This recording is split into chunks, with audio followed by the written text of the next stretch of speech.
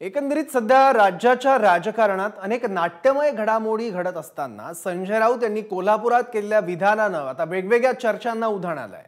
कोल्हापूर दौऱ्यावर संजय राऊत आहेत आणि यावेळी जितेंद्र आव्हाड यांची भेट झाली आणि यावेळी त्यांनी आमचं ठरलंय असं विधान केलंय.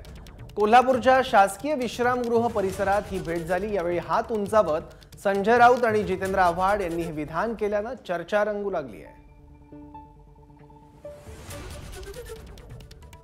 आणि आमचं ठरलंय. आमचं ठरलंय. थँक्यू थँक्यू आणि आमचं ठरलंय. आमचं ठरलंय. थँक्यू थँक्यू आणि आमचं ठरलंय. आमचं ठरलंय. थँक्यू थँक्यू आणि आमचं ठरलंय. आमचं ठरलंय. थँक्यू थँक्यू एबीपी माझा. उघडा डोळे बघा नीट.